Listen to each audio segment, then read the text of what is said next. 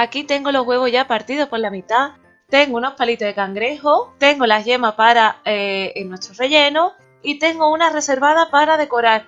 Voy a partir una mitad de un huevo. Voy a echar los palitos de cangrejo y una latita de atún.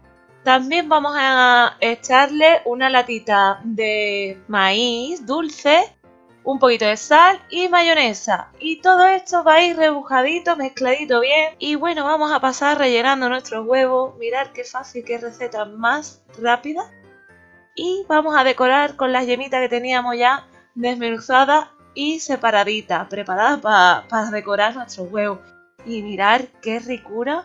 Vamos, estos huevos no pueden faltar en una mesa de, de fiesta porque es, bueno, una cosa muy rápida y la verdad es que como aperitivo, pues están deliciosos.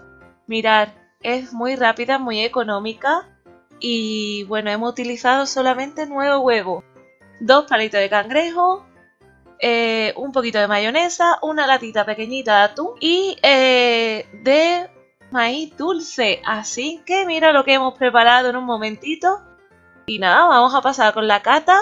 Espero que haya gustado la receta.